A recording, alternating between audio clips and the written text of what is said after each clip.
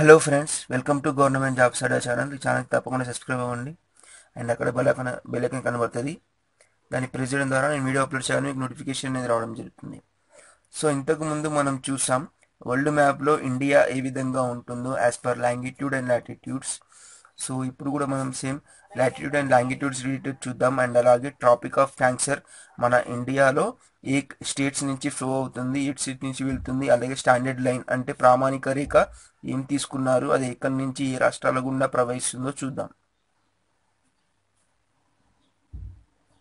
So first చూసుకున్నట్లయితే మనకి basic లెవెల్లో ఇది మనకి బేసిక్గా ఇండియా మ్యాప్ అనుకుంటే దీంట్లో మనకి ఇండియా అనేది ఈ రీజియన్ గుండా ఎయిటీ డిగ్రీస్ ఫోర్ మినిట్స్ నుంచి లాటిట్యూడ్ నుంచి అంటే అక్షాంశాల నుంచి టోటల్గా మనకి thirty seven degrees six minutes వరకు లాటిట్యూడ్స్ వైజ్గా ఉంది. అంటే అక్షాంశాల పరంగా చూసుకుంటే ఎనిమిది డిగ్రీల నాలుగు నిమిషాల నుండి ముప్పై ఏడు డిగ్రీల ఆరు నిమిషాల వరకు ఇండియా ఉంది. అక్షాంశాల పరంగా యాజ్ పర్ లాటిట్యూడ్స్ అదే లాంగిట్యూడ్ వైజ్గా చూసుకున్నట్లయితే ఈ విధంగా లాంగిట్యూడ్స్ వైజ్ అంటే రేఖాంశాల పరంగా చూసుకున్నట్లయితే అరవై ఎనిమిది డిగ్రీల ఏడు నిమిషాల నుండి తొంభై ఏడు డిగ్రీల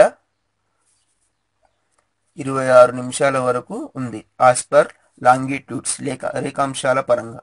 ఇది మోస్ట్ ఇంపార్టెంట్ క్వశ్చన్ మనకి డైరెక్ట్గా ఈ క్వశ్చన్ అనేది అడగడం జరుగుతుంది. ఇండియా యాజ్ పర్ లాంగిట్యూడ్స్ ఏ విధంగా ఉంది లేదా యాజ్ పర్ లాటిట్యూడ్స్ ఏ విధంగా ఉంది? అక్షాంశాల పరంగా లేదా రేఖాంశాల పరంగా ఏ- ఏ విధంగా ఉంది. లాటిట్యూడ్స్ అంటే అక్షాంశాలు లాంగిట్యూడ్స్ అంటే రేఖాంశాలు. లాంగ్ లాటిట్యూడ్స్ అంటే అక్షాంశాల పరంగా చూసుకున్నట్లయితే ఎనిమిది డిగ్రీల నాలుగు నిమిషాల నుంచి ముప్పై ఏడు డిగ్రీల ఆరు నిమిషాల వరకు. అంటే ఎనిమిది డిగ్రీల నాలుగు నిమిషాల నుంచి ముప్పై ఏడు డిగ్రీల ఆరు నిమిషాల వరకు యాజ్ పర్ లాటిట్యూడ్స్ లేదా అక్షాంశాలు. అక్షాంశాల పరంగా. అదే రేఖాంశాల పరంగా చూసుకున్నట్లయితే అరవై ఎనిమిది డిగ్రీల ఏడు నిమిషాల నుంచి తొంభై ఏడు డిగ్రీల ఇరవై ఐదు నిమిషాల వరకు యాజ్ పర్ లాంగిట్యూడ్స్ లాంగిట్యూడ్ లేదా రేఖాంశాలు. అలాగే మనకి ఎండ్ పాయింట్స్ అంటే చివరగా దక్షిణంలో ఏముంది ఉత్తరంలో ఏముంది తూర్పులో ఏముంది అలాగే పడమరలో ఏముంది యాజ్ మనకి నార్త్లో చూసుకున్నట్లయితే ఎండ్ పాయింట్ వచ్చేసి ఇందిరా కాల్ అంటాం. ఇందిరా కాల్ లేదా కిలిక్ దావన్ పాస్ అంటే కనుమ కిలిక్ ధావన్ కనుమ లేదా కిలిక్ ధావన్ పాస్ అంటాం. సో ఇది జమ్మూ అండ్ కాశ్మీర్లో ఉంటుంది ఇందిరా కాల్. ఇది మనకి ఉత్తరాన అంటే నార్త్లో ఎండ్ పాయింట్ అన్నమాట. అదే మనకి దక్షిణంలో తీసుకున్నట్లయితే దక్షిణంలో తీసుకున్నట్లయితే ఇందిరా పాయింట్. ఈ రెండు కన్ఫ్యూజ్ అవ్వకండి. నార్త్లో అయితే ఇందిరా కాల్ ఉంటుంది. సౌత్లో అయితే ఇందిరా పాయింట్ లేదా కన్యాకుమారి. ఇది వచ్చేసి మనకి తమిళనాడులో ఉంటుంది. ఇది మనకి సౌత్లో ఎండ్ పాయింట్ అలాగే మనకి ఈస్టులో అంటే తూర్పులో తీసుకున్నట్లయితే మనకి ఎండ్ పాయింట్ వచ్చేసి ఇది అరుణాచల్ ప్రదేశ్. అరుణాచల్ ప్రదేశ్ కిబీతు అనే పాస్ ఉంటుంది. కిబీతు. కిబీతు అనే కనుమ ఉంటుంది అరుణాచల్ ప్రదేశ్లో. ఇది ఎండ్ పాయింట్. అలాగే మనకి ఇక్కడ తీసుకున్నట్లయితే వెస్ట్లో తీసుకున్నట్లయితే ఎండ్ పాయింట్ వచ్చేసి మనకి కావుమేటా. కావుమేటా అనే పాస్ ఉంటుంది అంటే కనుమ. ఇది వచ్చేసి మనకి రన్ ఆఫ్ కచ్లో ఉంటుంది. రన్ ఆఫ్ కచ్ గుజరాత్లో ఉంటుంది. ఇది మనకి వెస్ట్లో ఎండ్ పాయింట్. ఈ ఫోర్ పాయింట్స్ గుర్తుంచుకోండి. మనకి నార్త్లో తీసుకున్నట్లయితే ఎండ్ పాయింట్ వచ్చేసి ఇందిరా కాల్. ఇది లేదా దీన్ని కిలిక్ దావన్ పాస్ అంటారు.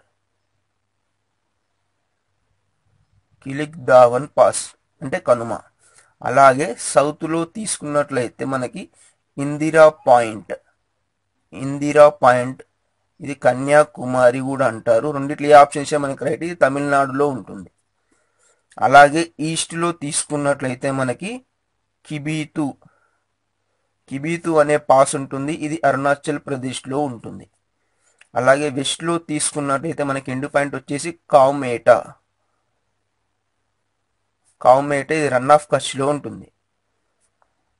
Run of Kutch Gujarat.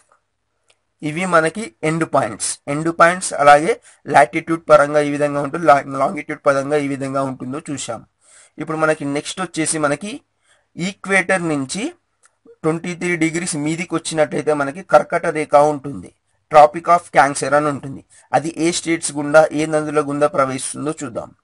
ఇక్కడ మనకి చూసుకున్నట్లయితే ట్రాపిక్ ఆఫ్ క్యాన్స్ క్యాన్సర్ వచ్చేసి ట్రాపిక్ ఆఫ్ క్యాన్సర్ వచ్చేసి ఈ విధంగా వచ్చి గుజరాత్ రాజస్థాన్ మధ్యప్రదేశ్ ఛత్తీస్గఢ్ జార్ఖండ్ వెస్ట్ బెంగాల్ త్రిపుర అండ్ మిజోరాం గుండా ప్రవహిస్తుంది. స్టేట్స్ తీసుకున్నట్లయితే గుజరాత్ రాజస్థాన్ మధ్యప్రదేశ్ ఛత్తీస్గఢ్ జార్ఖండ్ వెస్ట్ బెంగాల్ త్రిపుర అండ్ మిజోరాం. టోటల్గా చూసుకున్నట్లయితే one two three four five six seven eight ఎనిమిది రాష్ట్రాల గుండా మన దేశంలో ట్రాపిక్ ఆఫ్ క్యాన్సర్ కర్కట రేఖ ప్రయాణిస్తుంది. అడగొచ్చు డైరెక్ట్గా ఎన్ని రాష్ట్రాల గుండా కర్కట రేఖ లేదా ట్రాఫిక్ ఆఫ్ క్యాన్సర్ అనేది మన భారతదేశం గుండా ప్రవేశిస్తుంది అన్నప్పుడు ఎనిమిది రాష్ట్రాల గుండా. లేదా అలా కాకుండా కింద ఇచ్చిన ఏ రాష్ట్రాలు మనకి ట్రాపిక్ ఆఫ్ క్యాన్సర్ గుండా ప్రవహిస్తలేదు. అది లేదా పోవట్లేదు అంటే మనకి ఆప్షన్లలో వేరే స్టేట్స్ పేర్లు కూడా ఇచ్చి మనకి అడిగే ఛాన్సెస్ ఉంది. సో ఏ విధంగా ఇచ్చిన మనకి మ్యాచ్ ద ఫాలోయింగ్ ఫార్మేట్లో ఇచ్చిన ఏ విధంగా ఇచ్చే మనకి ఆన్సర్ చేయాలి అంటే మనకి ఏ స్టేట్స్ అనేవి ఆ ట్రాఫిక్ ఆఫ్ క్యాన్సర్ లేదా కర్కట రేఖ గుండా వెళ్తున్నాయో మనం తెలుసుకోవడం అనేది చాలా ఇంపార్టెంట్ సో నెక్స్ట్ వచ్చేసి మనకి రివర్స్ చూద్దాం ఇప్పుడు. రివర్స్ చూసినట్లయితే మనకి గుజరాత్లో వచ్చేసి రెండు రివర్స్ ఉంటాయి. అది ఏంటిది అంటే ఫస్ట్ వచ్చేసి మనకి సబర్మతి. సబర్మతి రివర్ అండ్ అలాగే సెకండ్ రివర్ వచ్చేసి మనకి ఫస్ట్ ఇది సబర్మతి రివర్ అండ్ అలాగే సెకండ్ రివర్ వచ్చేసి మహి రివర్. మహి. ఈ రెండు రివర్స్ వచ్చేసి గుజరాత్లో ప్రవహిస్తూ ఉంటాయి. అలాగే మనకి ఇక్కడ మధ్యప్రదేశ్లో తీసుకున్నట్లయితే రెండు రివర్స్ ఉంటాయి.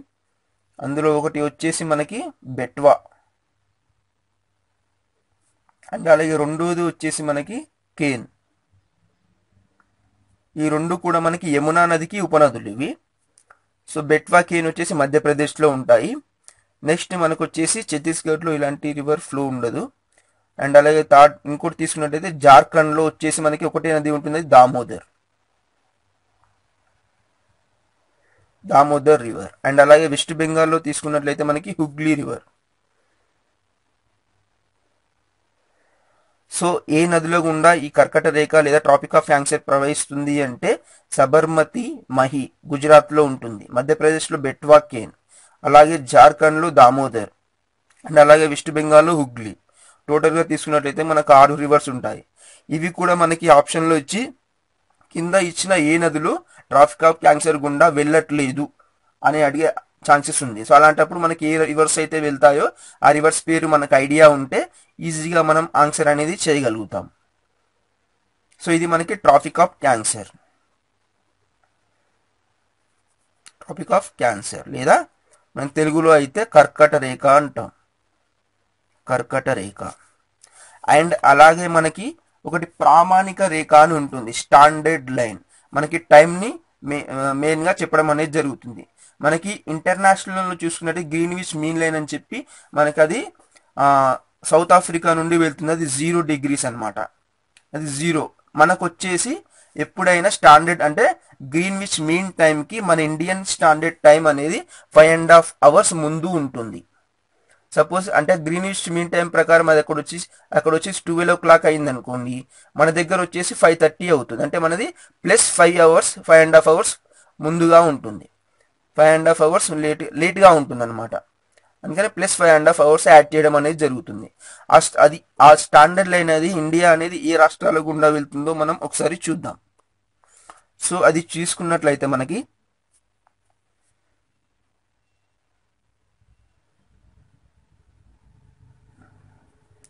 ఉత్తరప్రదేశ్ మధ్యప్రదేశ్ ఛత్తీస్గఢ్ ఒరిస్సా ఆంధ్రప్రదేశ్. ఒకటి రెండు మూడు నాలుగు ఐదు. ఐదు రాష్ట్రాల గుండా మనకేంటిది ఇది? ప్రామాణిక రేఖ అంటే స్టాండర్డ్ అంటే ఏంటిది? ఎన్ని డిగ్రీస్ అంటే ఇది వచ్చేసి మనకి ట్రాఫిక్ ఆఫ్ క్యాన్సర్ వచ్చేసి మనకి twenty three and half degree. ఇది గుర్తు twenty three and half latitudes is called tropic of cancer. ఇరవై మూడున్నర డిగ్రీల అక్షాంశాల రేఖని ట్రాపిక్ ఆఫ్ క్యాన్సర్ కర్కట రేఖ అంటారు. ఈ పాయింట్ అయితే మర్చిపోకండి. ఇది కూడా అడిగే ఛాన్సెస్ ఉంది. ఏ లైన్ని ట్రాఫిక్ ఆఫ్ క్యాన్సర్ అని అంటారు అంటే twenty three and half degrees latitudes. ఈ విధంగా ఉంటే మనకి అడ్డంగా ఉన్నట్టయితే అవన్నీ లాటిట్యూడ్స్ అంటే అక్షాంశాలు అంటామని తెలుసు మనకి. సో అది గుర్తుంచుకోండి. ఇది చూసినట్టయితే రేఖాంశాల వైజ్ ఉంది. ఈ విధంగా ఉంది. సో ఇది వచ్చేసి మనకి రేఖాంశాల పరంగా స్టాండర్డ్ లైన్ వచ్చేసి eighty two and half degrees. Eighty two and half degrees longitudes. దీన్ని మనం ఏమంటామంటే ప్రామాణిక రేఖ. ప్రామాణిక రేఖ లేదా స్టాండర్డ్ లైన్ అంటాం ఇంగ్లీష్లో అయితే. స్టాండర్డ్ లైన్ దీన్ని బేస్ చేసుకుని మన ఇండియాలో టైం అనేది పెట్టడం అనేది జరుగుతుంది. ఇది వచ్చేసి మనకి ఉత్తరప్రదేశ్ మధ్యప్రదేశ్ ఛత్తీస్గఢ్ ఒరిస్సా ఆంధ్రప్రదేశ్ గుండా వెళ్తుంది. ఎన్ని రాష్ట్రాలు టోటల్గా one two three four five ఇది వచ్చేసి టోటల్గా ఫైవ్ స్టేట్స్ ఫైవ్ స్టేట్స్ గుండా ఈ స్టాండర్డ్ లైన్ లేదా ప్రామాణిక రేఖ అనేది ప్రవహిస్తుంది. సో ఇది ట్రాపిక్ ఆఫ్ క్యాన్సర్ వచ్చేసి మనకి టోటల్గా ఎయిట్ స్టేట్స్. అవేంటి Gujarat Madhya Pradesh Chhattisgarh Jharkhand West Bengal Tripura and Mizoram. One two three four five six seven. Sorry seven states గుండా వెళ్తుంది ఇది. సో సెవెన్ స్టేట్స్ గుండా మనకి ట్రాపిక్ ఆఫ్ క్యాన్సర్ అనేది వెళ్ళడం అనేది జరుగుతుంది. సో అలాగే మనకి ఇక్కడ ఇంకోటి ఏంటిదంటే ఉత్తరప్రదేశ్ మధ్యప్రదేశ్ ఛత్తీస్గఢ్ ఒరిస్సా ఆంధ్రప్రదేశ్. మనకి ఆంధ్రప్రదేశ్లో చూసుకున్నట్లయితే కాకినాడ అనే ప్లా ప్రాంతం ఈ ప్రామాణిక రేఖ గుండా వెళుతుంది. అలాగే ఒరిస్సాలో చూసుకున్నట్లయితే మనకి మనకి ఇక్కడ ఒరిస్సాలో చూసుకున్నట్లయితే కోరా కోరాపుట్ కోరాపుట్ అనే ప్రాంతం లేదా సిటీ మనకి ఈ స్టాండర్డ్ లైన్లో వెళ్తుంది. అండ్ అలాగే మనకి సో మనకి ఇది స్టాండర్డ్ లైన్ వచ్చేసి ఆంధ్రప్రదేశ్లో అయితే కాకినాడ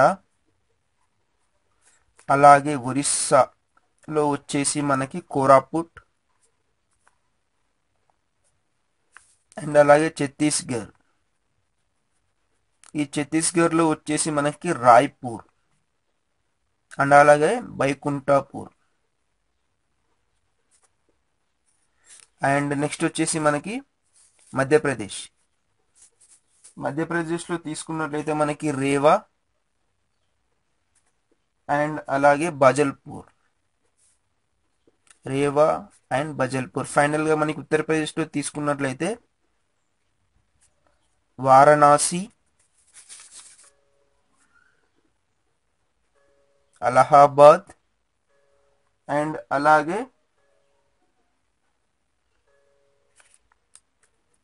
మిర్జాపూర్. సో ఈ ప్రాంతాల గుండా మనకి eighty two and half degree standard line. Eighty two and half degree standard line లేదా ప్రామాణిక రేఖ లేదా మనకి latitudes eighty two and half degrees latitudes ఈ ప్రాంతాల గుండా ఈ రాష్ట్రాల గుండా ప్రవహిస్తుంది వెళుతుంది ప్ర- లేదా ప్రయాణిస్తుంది అంటాం. అండ్ అలాగే ఇంకో పాయింట్ ఏంటిదంటే మన కర్కట రేఖ ట్రాపిక్ ఆఫ్ క్యాన్సర్ ఏదైతే ఉందో ఎక్కువ ప్రయాణించే రాష్ట్రం ఏది అని అడిగినప్పుడు మనకి మధ్యప్రదేశ్ ఆన్సర్ అవుతుంది. దీని తర్వాత సెకండ్ ప్లేస్ వచ్చేసి గుజరాత్. ఇది మనకి ఎక్కువ ఎక్కువ ప్రయాణించే ఎక్కువ దూరం ప్రయాణించే రాష్ట్రాలు. అదే తక్కువ దూరం ప్రయాణించే రాష్ట్రాలు అన్నాడు అనుకుని అందులో ఫస్ట్ వచ్చేసి మనకి రాజస్థాన్ దీని తర్వాత త్రిపుర. ఇవి కూడా అడిగే ఛాన్సెస్ ఉంది వీటిని కూడా గుర్తుంచుకోండి. కర్కట రేఖ లేదా traffic of cancer follows longest distance in which district అన్నప్పుడు ఫస్ట్ ప్లేస్ వచ్చేసి మధ్యప్రదేశ్ అది లేకపోతే గుజరాత్. అలాగే తక్కువ తక్కువ డిస్టెన్స్ అని అడిగాడు అని అనుకోండి ఫస్ట్ ప్లేస్ వచ్చేసి రాజస్థాన్ ఆ తర్వాత వచ్చేసి త్రిపుర. సో నెక్స్ట్ మనకి స్టాండర్డ్ లైన్ అనుకున్నాం కదా. సపోజ్ మనకి ఇప్పుడు మనం ఇండియా ఇది ఇండియా అండ్ అలాగే ఇది బంగ్లాదేశ్ అండ్ అలాగే మనకి ఇక్కడ పాకిస్తాన్ ఉంటుంది. సపోజ్ మనకి ఇండియాలో టైం అనేది మనకి ఇక్కడ సెవెన్ థర్టీ అయిందనుకోండి బంగ్లాదేశ్లో మనకంటే మనకంటే హాఫ్ అన్ అవర్ ముందు ఉంటారు వీళ్ళు. అంటే సెవెన్ అవుతుంది అలాగే పాకిస్తాన్లో మనకంటే అర్ధ గంట లేట్ ఉంటారు. అంటే వీళ్ళ దగ్గర ఎయిట్ అవుతుంది. సో వీళ్ళు అనేది లేట్ ఉంటారు అండ్ అలాగే వీళ్ళంటే ఎర్లీగా స్పీడ్గా ఉంటారు అనమాట ఇది మనకి ఇండియా వైజ్గా చూసుకుంటే మనకి మనకి బంగ్లాదేశ్ అనే వాళ్ళు అర్ధ గంట ముందు ఉంటారు పాకిస్తాన్ లేవని వాళ్ళు అర్ధ గంట లేట్ ఉంటారు. సో మిగతా మనకి కంట్రీస్ ఏవైతే మనకు ఉన్నాయో నే నేపాల్ కానీ భూటాన్ కానీ శ్రీలంక కానీ అది మన ఇండియా టైం ఇండియా స్టాండర్డ్ టైంని వాళ్ళు ఫాలో అవుతారు. నేపాల్ కానీ శ్రీలంక కానీ వాళ్ళు ఇండియా స్టాండర్డ్ టైంనే ఫాలో అవ్వడం అనేది జరుగుతుంది. సో అలాగే మనకి టోటల్ కాలమండనాలు టైం జోన్స్ చూసుకున్నట్లయితే టోటల్ టైం జోన్స్ లేదా కాలమండలాలు అంటాం. కాలమండలాలు తీసుకున్నట్లయితే మొత్తం ప్రపంచంలో చూసుకుంటే ఇరవై నాలుగు ఉంటాయి కాలమండలాలు. అందులో మనకి ఎక్కువ ఏ కంట్రీస్కి ఉన్నాయి అంటే రష్యా. రష్యాకి వచ్చేసి పన్నెండు అలాగే ఫ్రాన్స్కి కూడా పన్నెండు ఉంటాయి. అండ్ అలాగే యుఎస్ఏకి వచ్చేసి మనకి పదకొండు కాలమండలాలు ఉంటాయి. సో ఈ విధంగా ఉంటాయి. మనకి ఇండియాకి వచ్చేసి ఒకటే ఉంటుంది అది కాలమండం ఏదైతే తీసుకున్నట్లయితే మనకి ఉత్తరప్రదేశ్ ఇవైతే తీసుకున్నాం కదా eighty two and half degrees లాటి longitudes so దాన్ని మనకి ప్రామాణిక రేఖ అంటాము. ఇది మనకి కాలమండలాలు ఎన్ని ఉన్నాయని చెప్పి చెప్పడం అనేది జరుగుతుంది. అండ్ ఫ్రెండ్స్ ఇంకోటి ఇంపార్టెంట్ పాయింట్ ఏంటిదంటే మనకి ఇక్కడ చూసారు ఇక్కడ tropic of cancer and eighty two and half degrees longitude అంటే ప్రామాణిక రేఖ. ఈ రెండు మధ్య ఒక దగ్గర మధ్య అవుతున్నాయి కదా ఒక దగ్గర ఖండిస్తున్నాయి. ఆ ఖండించే ప్రాంతం ఏమిటి అంటే ఇక్కడ చూసుకోండి. ఖండించే ప్రాంతం ఏమిటి అంటే ఛత్తీస్గఢ్లోని బైకుంఠాపూర్లో ఇదేంటిది మనకి? Merging point so merging point of tropic of cancer and standard line లేదా ప్రామాణిక రేఖ. ప్రామాణిక రేఖ. మనకి క్వశ్చన్లు అడుగుతుండొచ్చు. So merging point of tropic of cancer and standard line లేదా ప్రామాణిక రేఖ అని అడిగినప్పుడు ఇక్కడ ఉంది అంటే ఐదర్ ఛత్తీస్గఢ్ అని ఇస్తాడు లేదా బైకుంఠాపూర్ అన్న ఇస్తాడు.